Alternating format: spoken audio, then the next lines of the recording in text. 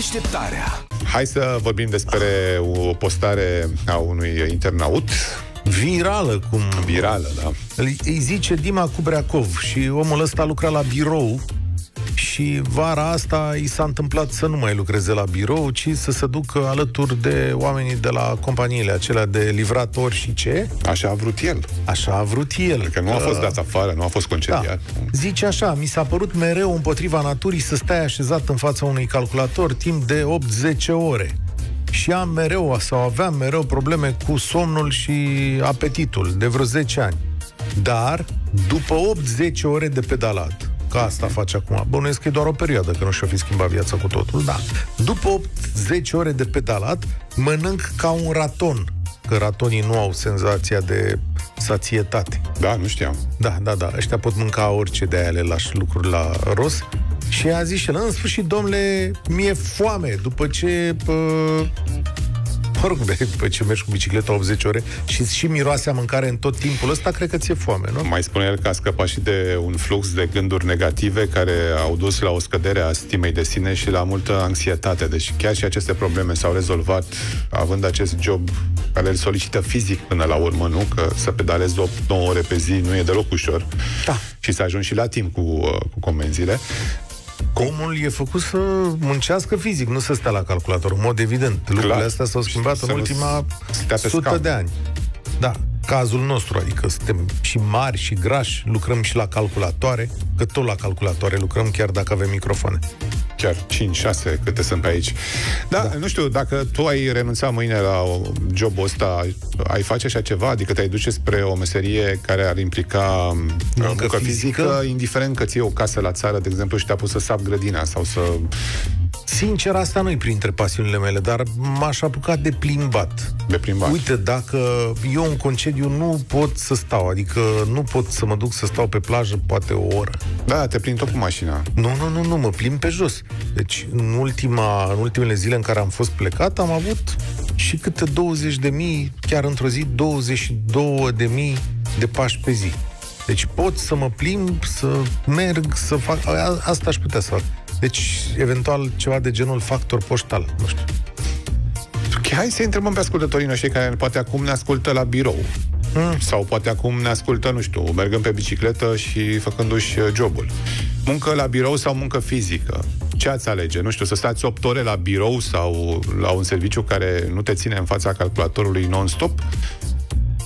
Birou sau muncă din asta în afara celor patru pereți și a calculatoarelor din față. 0728 111222 Ce-o fi mai bine, domnule? La birou sau să respire aerul curat?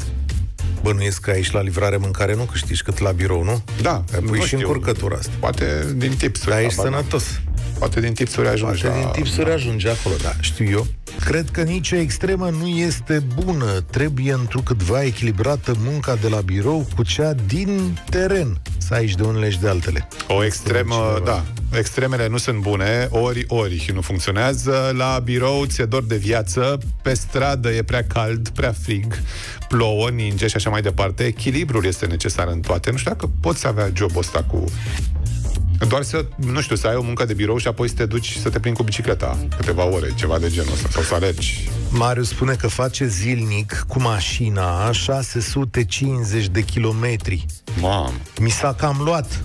Păi te crezi și eu. Mamă, 650, aș face o muncă fizică. Cel mai bine este pe teren, dar noi cei din privat suntem buni la toate. Lucrăm și teren și birou. Patronul vrea încasări, 80% din program este birou. Ionel din uh, Brăila ne scrie asta. Mary spune că o muncă fizică, clar, Nicu Bârzu niciodată la birou sunt o fire activă și tot timpul trebuie să mă mișc. Dacă stau pe scaun, mă ia somnul. Munca, afară este, munca în afară este sănătate curată. La birou este frumos văzut de afară. Pentru cei care o fac, nu e chiar așa de bine. Maria din uh, Oradea. Fii atent ce zice Luminița din Suceava. Mm. Lucrez într-o croitorie și stau câte 90 ore pe zi pe scaun și sâmbăta, dar sâmbăta, de fapt, împart reviste, reclame la apartamente, știi? Când da, da aduc da, da, oamenii da. de la magazine. Foarte bine. Este cu totul altceva, te descarci de toate, simt o relaxare plimbându-mă. Omul nu a fost conceput pentru munca la birou, eu lucrez la birou și văd cum mă atrofiez, cu toate că fac sport de câteva ori pe săptămână. Prea Doamnă, puțin. Sau, domnule, noi lucrăm la birou și nu ne atrofiem. Aia e problema mea, așa, domnului Radu Constantin. Nu prea mai avem timp, Cătălin. Câți pași ziceai tu că faci într-o zi bună din concediu? 20 de mii. Fii atent, ne-a scris uh, Gabi Oprescu. Gabi a fost colegul nostru și foarte mulți ani s-a ocupat, uh, printre alții, de organizarea live pe plajă. Și ne spune așa, eu într-o zi de live pe plajă am făcut peste 40.000 de pași. Ca livrator, să știți că uh, câștigați în medie uh, 1000-1200 pe săptămână. Mm, puțin.